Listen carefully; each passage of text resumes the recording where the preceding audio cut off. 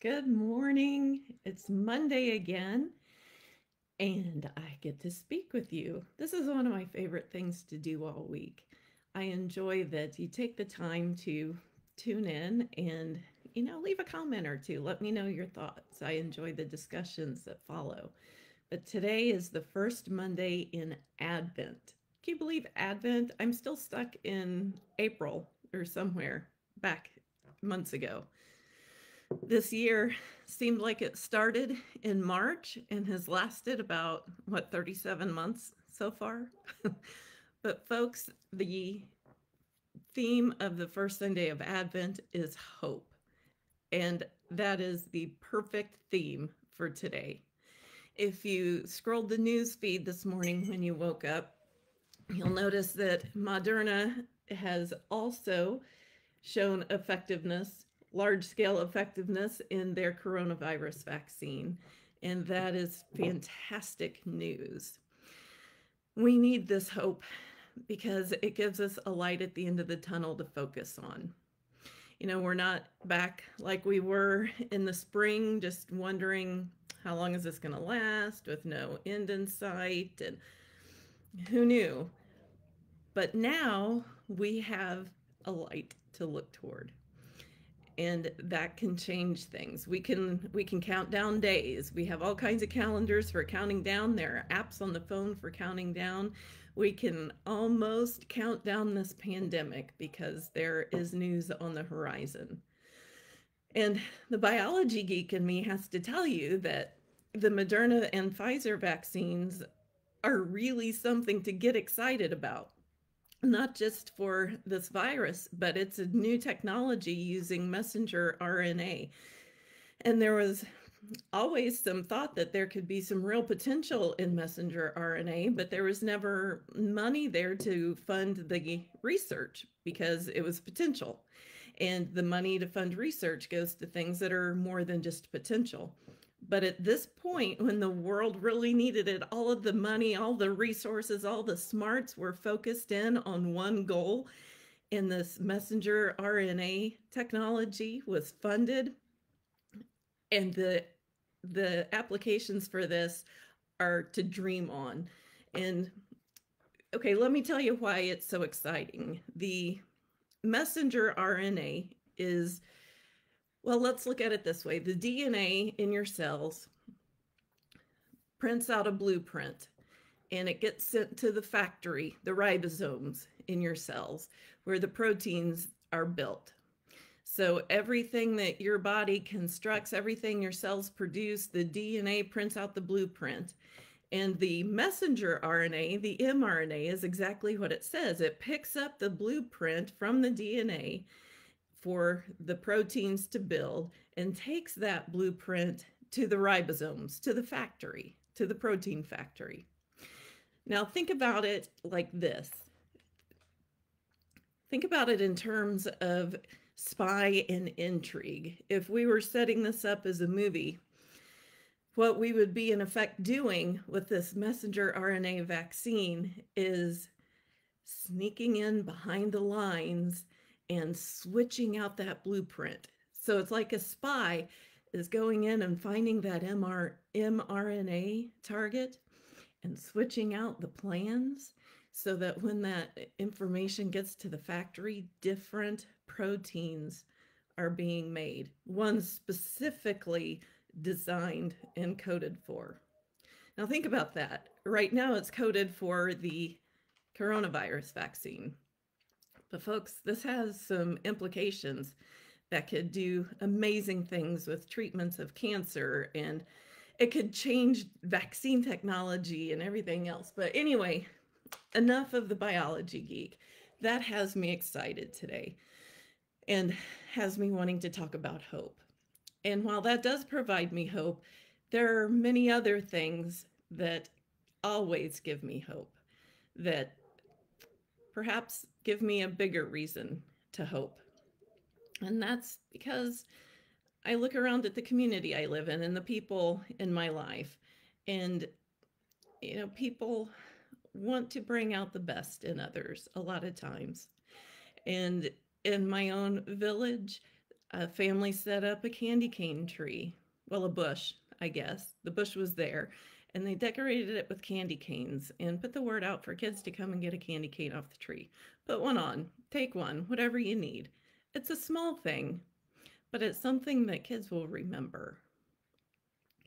I also have hope because there are people in town that are organizing to make Christmas special for all the kids.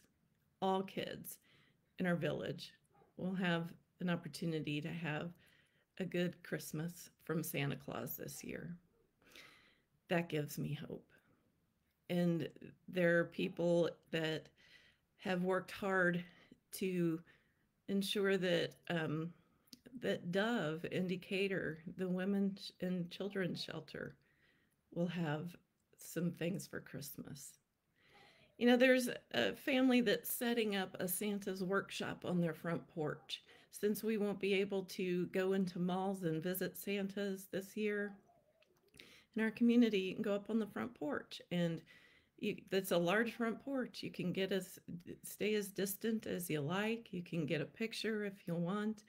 You can definitely get some hot chocolate. And it's just the little things that people do to help each other out, to brighten things a little bit. That's what gives me hope. My neighbors give me hope. Do you think I have any idea what a recycling day is? I never do. I never do. I do for the days ahead of time, but when recycling day actually gets here, never remember. But there's a kid next door that always does and makes sure my bins are out for recycling. As long as there are people in this world and in my life who are willing to do a little something to make someone else's life better, there's always going to be reason to have hope. There's a group that works to make sure all of the kids at school have all the school supplies they need the Sangamon Valley Backpack Project, and that spans three communities in our school district. But the hope is that every kid will have the supplies they need, and the teachers as well. Things like this give me hope. The summer rec program, ensuring that kids have something to do in the summer that's outside and fun. The food pantry. People need food pantries, and we have those in our communities. And this morning, I don't, oh, there went one. There's a snowflake that went by.